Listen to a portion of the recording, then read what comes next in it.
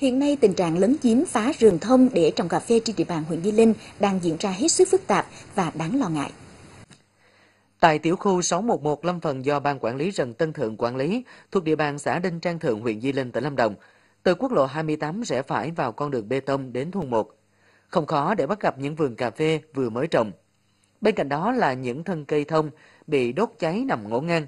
Thậm chí có nhiều nơi, nhiều gốc thông bị chặt nhưng chưa kịp thu dọn, vết chặt nham nhở, còn rỉ nhựa tươi rói.